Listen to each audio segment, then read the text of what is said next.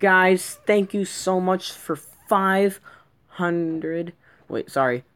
Guys, thank you so much for 5,815 views. You guys have did it. Well, I'm going to end the video there. I hope you liked the video and subscribe.